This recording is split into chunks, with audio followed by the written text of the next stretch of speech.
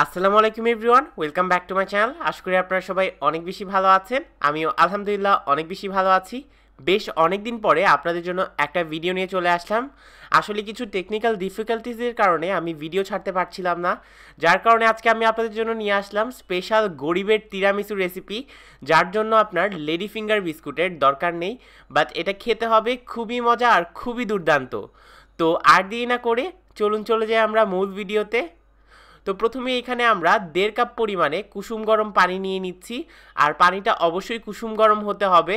বেশি গরম যাতে না হয়, একটু সেই দিকে খেয়াল রাখবেন। তো আমি এখানে আনুমানিক মেপে নিলাম। তো এরপর এর মধ্যে আমরা অ্যাড করে দিচ্ছি দুই চা চামচ পরিমাণে ইনস্ট্যান্ট কফি আমি এখানে নেসক্যাফ ব্র্যান্ডের ইনস্ট্যান্ট কফিটা ইউজ করেছি। আপনারা চাইলে যে কোনো ব্র্যান্ডের ইনস্ট্যান্ট কফি ইউজ করতে পারেন, যেটা আপনার কাছে ভালো মনে হয়। ব্রিও ইউজ করতে পারেন ব্রিউগুলো অনেক ভালো হয়। সো এখন সব কিছু ভালো করে এভাবে মিক্স করে নিচ্ছি। আর এটাকে এক সাইডে রেখে দিচ্ছি। আর আজকে আমি বিস্কিটের জন্য ইউজ করছি গরিবের বিস্কুট, আমার বিস্কুট, তোমার বিস্কুট, সবার বিস্কুট, মেরি বিস্কুট। তো হ্যাঁ লেডি ফিঙ্গারের বদলে আমি মেরি বিস্কুট ইউজ করছি। তো মেরি বিস্কিটগুলোকে এভাবে আমি ফার্স্টে দশ সেকেন্ড বা দুই পাঁচ সেকেন্ডের জন্য এইভাবে বিস্কিটগুলোকে ভিজিয়ে আমরা একটা এরকম সার্ভিং ডিশের মধ্যে দিয়ে দিচ্ছি এভাবে লেয়ার করে। তো আপনি আশা করি বুঝতে পারছেন যে কীভাবে কাজটা করতে হবে। এভাবে আমি প্রত্যেকটা মেরি বিস্কুট দিয়ে দিচ্ছি। তো আমার আনুমানিক দুই প্যাকেটের মতো মেরি বিস্কিট লেগেছে। তো এখন আমরা মেইন লেয়ারটা করে নিই, যেটা হলো আমাদের তিরামিসুর লেয়ার বলে। তো এখানে আছে আমাদের এক কাপ পরিমাণে ক্রিম চিজ আপনি চাইলে এখানে রিকটা চিজ অথবা এখানে মাস্কার পনে চিজও ইউজ করতে পারেন। তবে আমার কাছে মাস্টার পনে চিজ ছিল না। রিকটা বলতে আমি বুঝাচ্ছি ছানা। ছানাও ইউজ করতে পারেন। তবে ছানা দিয়ে টেস্টটা এত মজা আসবে না। আর ছানা দিলে অবশ্যই লেবুর রস দেওয়ার ট্রাই করবেন। তো এখন এই চিজটাকে ভালো করে আমরা ফেটে নিচ্ছি। তো ফেটে এরকম যখন স্মুথ হয়ে যাবে, তখন আমরা এর মধ্যে বাকি ইনগ্রিডিয়েন্টসগুলো অ্যাড করব। তো আরেকটা জিনিস বলি, আমি এখানে ফিলাডেলফিয়া ব্র্যান্ডের চিজটা ইউজ করেছি। চেষ্টা করবেন এই সেম ব্র্যান্ড অথবা আলমারি ব্র্যান্ডের ইউজ করতে, তাহলে টেস্টটা ভালো আসবে। তারপর এর মধ্যে দুই টেবিল চামচ পরিমাণে দিয়ে দিলাম আইসিং সুগার আমি এখানে নর্মাল আইসিং সুগার ইউজ করেছি, যেটা পাটায় পিষে নেওয়া আইসিং সুগার আপনারা চাইলে কেনাটাও ইউজ করতে পারেন, কোনো সমস্যা নেই। এটাকেও মিক্স করে নিচ্ছি। তবে আপনারা যদি বেশি চিনি পছন্দ না করেন মানে একটু কম চিনি খান, তাহলে চিনিটা একটু কমিয়ে দিবেন, তবে চিনিটা দেওয়ার ট্রাই করবেন। তারপর আমরা এর মধ্যে আরও কিছু ইনগ্রিডিয়েন্টস অ্যাড করব। যেমন আমরা এর মধ্যে কনডেন্স মিল্ক অ্যাড করব সুগারের জন্য। তবে কনডেন্স মিল্ক আমি এখানে দিচ্ছি ওয়ান ফোর্থ কাপ পরিমাণে। তো এটা আপনারা চাইলে একটু কমিয়ে বাড়িয়ে নিতে পারেন। টেস্ট অনুযায়ী কোনো সমস্যা নেই। এখানে যতগুলো জিনিস দিচ্ছি একটু কমিয়ে বাড়িয়ে নিতেই পারেন চাইলেই। তো এখন কনডেন্স মিল্কটা দিয়ে সব কিছু মিক্স করে নেব। মিক্স করে এটা দেখবেন আরও স্মুথ হয়ে গিয়েছে আরও সিল্কি হয়ে গিয়েছে। এটা শুধু শুধু খেতে এত ভালো লাগে, খুবই মজা লাগে। সো আমি একটু খেয়ে নিলাম। তো আপনারা এভাবে ভালো করে মিক্স করে নেবেন। তারপর এর মধ্যে আমরা অ্যাড করব আমাদের ফ্রেশ ক্রিম ডানো ক্রিম যেটা, এটা হাফ টিন অ্যাড করছি।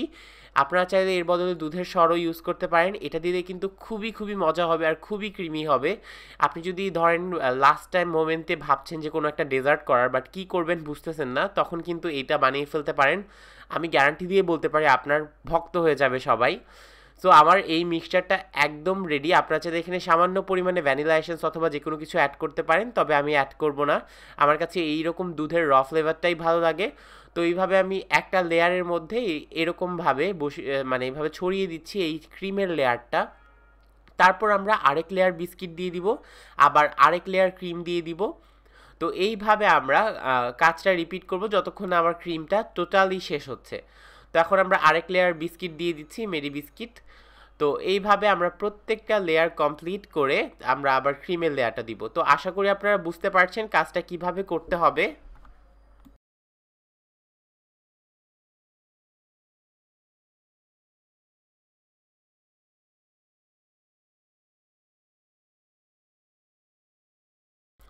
তো এই তো লাস্ট লেয়ারটাও দিয়ে দিলাম, দেখতেই পারছেন লাস্টে আমি ক্রিমের লেয়ারটা রেখেছি। এখন এটাকে ফ্রিজে ওভারনাইট সিট হতে দিতে হবে কমপক্ষে চব্বিশ ঘণ্টার জন্য। ফ্রিজে রাখতে হবে কমপক্ষে চব্বিশ ঘণ্টার জন্য। তো আমি বলব যে ফ্রিজে না রাখলে কিন্তু এই জিনিসটা মজাও লাগবে না, আর সেটও হবে না সুন্দরভাবে। তো অবশ্যই অবশ্যই ফ্রিজে রাখবেন। আর এরকম কোকো পাউডার ডাস্ট করে দিতে পারেন লাস্টের দিকে অথবা মাইলো ডাস্ট করতে পারেন। সবাই কিন্তু খুব বেশি পছন্দ করবে। তো এই মজাদার ডেজার্টটা কিন্তু একদম রেডি হয়ে গেল গরিবের টিরামিসু আশা করি আজকের এই ইউনিক রেসিপিটা আপনাদের কাছে অনেক বেশি ভালো লেগেছে। কেমন লাগল অবশ্যই আমাকে কমেন্ট সেকশানে কমেন্ট করে জানাতে ভুলবেন না। আপনার একটা উৎসাহমূলক কমেন্ট কিন্তু আমার কাজের গতি অনেক বেশি বাড়িয়ে দেয়।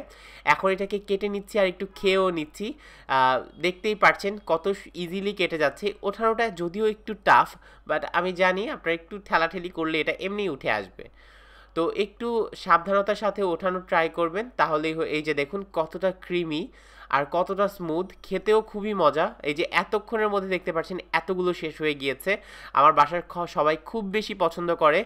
আশা করি আপনাদের বাসায়ও পছন্দ করবে। যদি আজকের ভিডিওটা ভালো লেগে থাকে, অবশ্যই একটি লাইক দিয়ে পাশে থাকতে ভুলবেন না। ফ্যামিলি অ্যান্ড ফ্রেন্ডসের সাথে অবশ্যই অবশ্যই শেয়ার করে দিবেন। আর যারা এই রেসিপিটি দেখে ট্রাই করবেন, অবশ্যই আমার ফেসবুক গ্রুপে শেয়ার করবেন। আর যারা যারা এখন আমার ফেসবুক পেজে লাইক দেননি, আমার ফেসবুক পেজ সেজেন্স কিচেন অফিসিয়ালে লাইক দিয়ে পাশে থাকবেন। আজকে আমি এখানেই বিদায় নিচ্ছি। আল্লাহ হাফেজ।